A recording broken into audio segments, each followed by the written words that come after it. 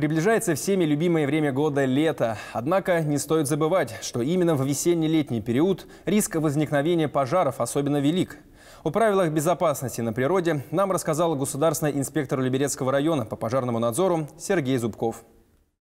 В предстоящие летние месяцы необходимо быть особенно бдительным и соблюдать технику пожарной безопасности. Об этом напоминают государственные инспекторы по пожарному надзору. На определенных участках введен особый противопожарный режим, в том числе и органами местного самоуправления.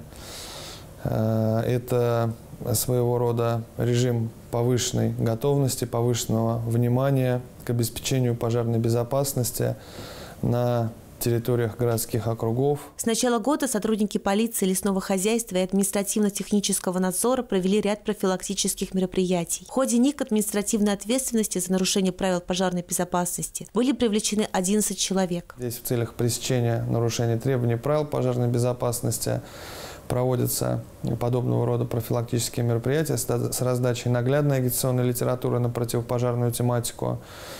Ну и в случае, если имеют факты, имеют место быть факты нарушения требований правил пожарной безопасности, то э, виновные лица привлекаются к административной ответственности.